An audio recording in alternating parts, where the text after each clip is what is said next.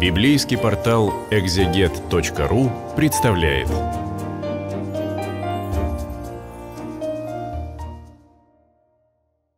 Здравствуйте, это видео для библейского портала экзегет.ру.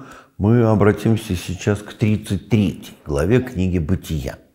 Здесь, наконец-то, уже происходит долгожданная встреча эм, Иакова и Исава, встреча, подготовки которой была посвящена вся предыдущая глава. Иаков принимал меры предосторожности, разделял станы, посылал вперед подарки Исаву. Ну и вот, наконец, э, увидел, идет Исав, брат его, и с ним 400 человек. 400 человек – это много. Э, ну, правда, действительно много. И Иаков расставляет своих.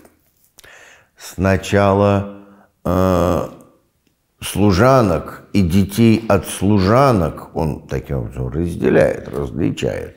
Потом Лию и детей от Лии, и только потом Рахиль и Иакова.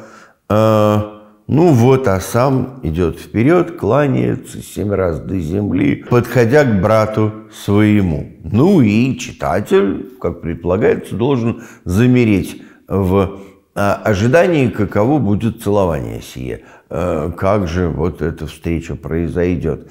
И побежал Исав к нему навстречу, обнял, пал на шею, целовал и плакали оба.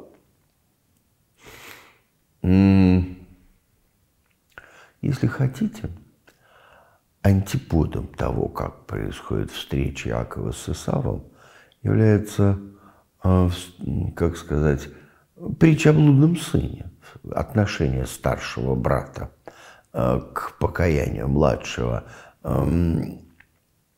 Такое впечатление, что где-то для тех, кто слушает Господа Иисуса, э, эта картина – тоже ну, соотносится или может соотноситься э, с рассказом об Исаве Якове, так или иначе. Вот э, они встречаются, падают на шею, плачут оба, потому что там, по крайней мере, Яков боялся, может, Исав тоже с напряжением ожидал этой встречи.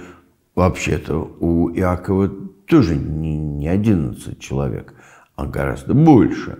И, и вот они, оказывается, могут быть вместе, могут радоваться, могут плакать. Э, и, соответственно, дальше расписываются подробности этой встречи.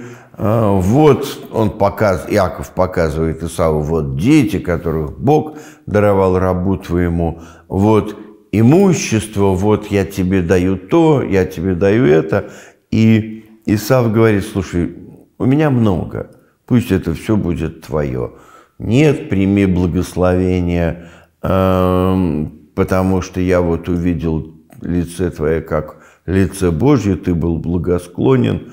Эм, прими благословение мое, которое я принес тебе, э, говорит Аков, потому что Бог даровал мне и есть у меня все. Вот как раз тот вариант, когда по-человечески все должно быть очень плохо и напряженно.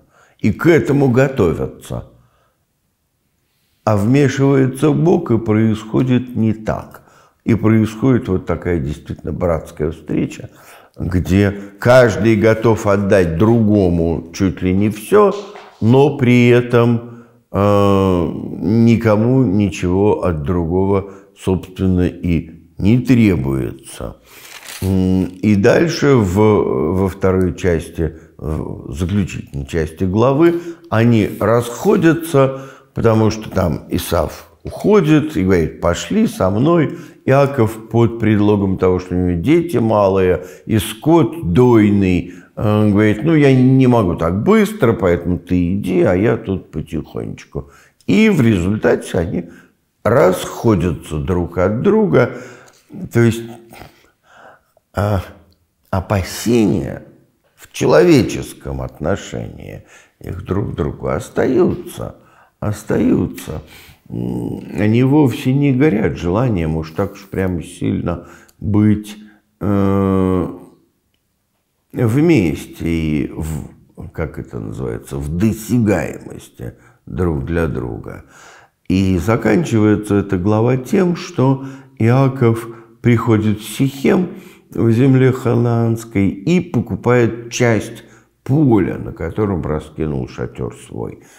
А, насколько можно судить с точки зрения рассказчика, та земля, которая принадлежит Аврааму и которая передана по наследству Исааку, переходит к Исаву. И поэтому Иаков здесь покупает другую землю, часть поля, эм, для того, чтобы исполнилось обетование Божье о том, что потомкам Иакова он даст землю сию.